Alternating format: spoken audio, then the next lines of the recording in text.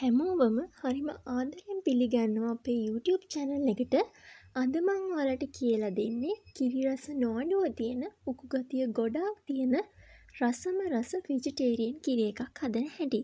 මේක හදන්නේ අපි පොල් කිරි වලින්.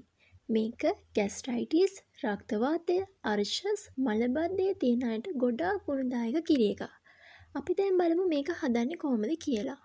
අද මම මේකට පොල් කිරි චුට්ටයි ගත්තේ. මුලින්ම පොල් කිරි අවශ්‍ය ප්‍රමාණයට ගන්න. පළවෙනි සැරේ කිරි විතරක් ගන්න එපා උක්කුවෙයි. දෙවෙනි සැරේ තුන්වෙනි සැරේ කිරි ගන්න. පොල් කිරි භාජනයට දාලා අවශ්‍ය සීනි ප්‍රමාණය එකතු කරලා ලුණු චුට්ටකුත් දාලා කලවම් කරලා රත් කරන්න.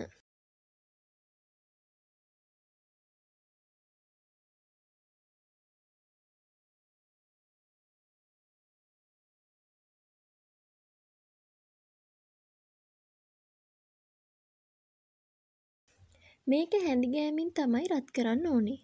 දුම් දාන සයිස් එකට එනකම් උණු කරන්න. ඊට පස්සේ මේක කෝප්පයකට පෙරා ගන්න.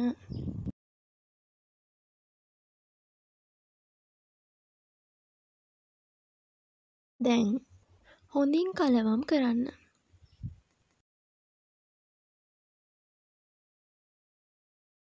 ඊට පස්සේ මේකට චොකලට් පවුඩර්, තේ, කෝපි, මයිලෝ, වැනිලා වලින් කැමති දෙයක් තේ හැන්දක් පමණ එකතු කරන්න.